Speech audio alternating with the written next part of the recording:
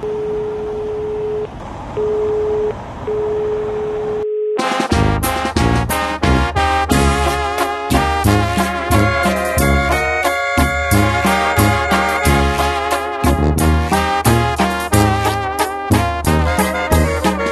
mm -hmm. you.